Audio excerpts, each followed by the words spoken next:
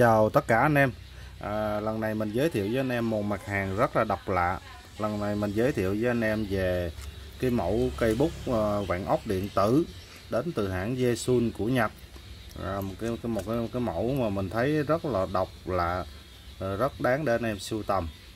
Thì à, cái mẫu bút ờ, này là nó chuyên dụng để anh em ta vạn ốc điện tử trong này nó thiết kế có ống rỗng để anh em nó bỏ được là 8 cái bộ mũi ờ, quàng ốc khác nhau của, của các loại ốc điện tử này anh em.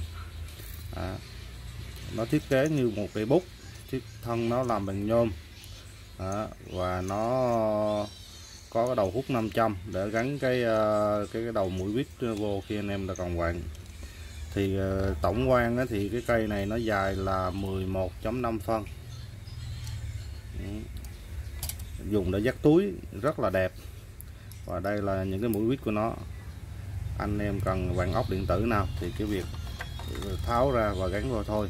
Ví dụ mình lấy mình mở cái ốc am beo kìm này nha anh em. Đó, rất là rất là gọn gàng. Anh em thấy không? Nó thiết kế rất là là gọn gàng. Thì cái mẫu ờ, cây bút điện tử này nó thích hợp cho những anh em à, nào à, mang theo bên mình để bỏ túi dắt túi nhìn rất là đẹp. À, và không cần phải mang theo viên một bộ vít điện tử theo nó cồng kềnh và nó cũng à, bất tiện. Thì cái cây bút này nó nó thiết kế ra để nó được cái tính năng như thế để cho tiện cho anh em. Bỏ túi vừa đẹp vừa sang mà lại đa năng những anh em nào làm bên ngành ờ, sửa chữa máy may hay mấy cái đồ điện tử gia dụng gì đó mang cái bút như thế này thì không ai nghĩ là đó là một cây bút để chuyên sửa chữa đâu.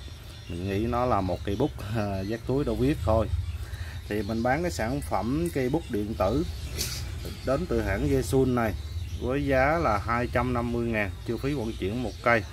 Hàng đây là hàng mình nhập thẳng hãng về nha anh em nên nó không phải là hàng bãi nên giá nó cũng sẽ cao đó, nhưng mà cái giá trị sưu tầm thì mình nghĩ nó cũng xứng đáng với cái cái, cái sản phẩm nó làm ra. Rồi anh em nào sưu tầm cái bút chuyên về ốc điện tử này thì liên hệ với phía mình. Mình ship code toàn quốc anh em nhận hàng kiểm tra là mới thanh toán. Rồi mình xin kết thúc video tại đây. Xin cảm ơn anh em. À, giờ mình review lại một lần nữa anh em xem kỹ thôi. Rất là sang chảnh nha anh em. Đẹp lắm. Mấy nhặt nó làm tinh tế lắm. Như một cái bút viết vậy đó rồi mình xin kết thúc video ở đây.